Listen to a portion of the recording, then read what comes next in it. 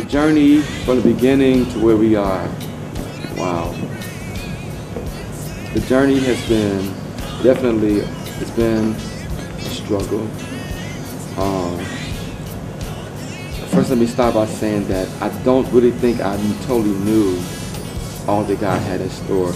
We sang because that's just a passion. We were raised in church, grew up singing, and love to sing. Little did I know that God has so much in store for us.